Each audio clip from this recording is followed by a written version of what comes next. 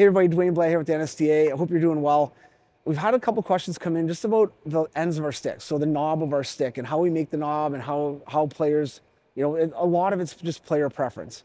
So you look at the you know the butt end of a hockey stick, the top part of a hockey stick, you'll see some players that love a lot of tape on there. They have like huge, almost like an ice cream cone. You'll see some players that like mine's not very big. I like it. I like small, just a little bit of tape on it. Some players will tape all the way down the top of their stick.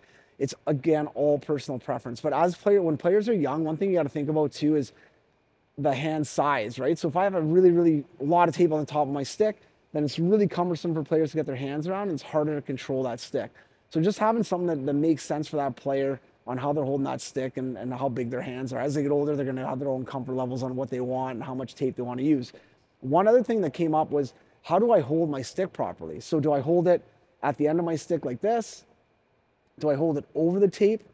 Right? Do I hold my finger over the tape? And again, that's going to be something that players will figure out. If you give a young player a stick, after a week or two, they're going to hold it kind of somewhat the way they hold it. Now, if you see a player holding it with that butt end sticking out, then you definitely want to, to address that right away. You want to make sure that they're covered off. So you want to make sure that they're covering the top of their the top of their stick. Whether they hold it with the butt end out a little bit like this, that's fine. With their kind of with the top of their hand over that stick, that's fine.